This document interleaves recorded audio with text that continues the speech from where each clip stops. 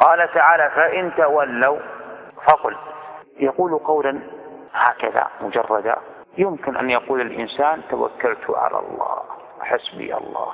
ينفعه ذلك؟ لا ينفعه إلا إذا أصحب هذا القول بما في القلب. أي قل حسبي الله بقولك مع اعتماد قلبك على الله عز وجل. وإلا فكم من شخص يقول توكلت على الله وهو لم يتأمل ويتمعن في هذه الكلمة. وهذا هو شأن من وقع في بلاء أو في محنة عليه أن يلهج بالحسب.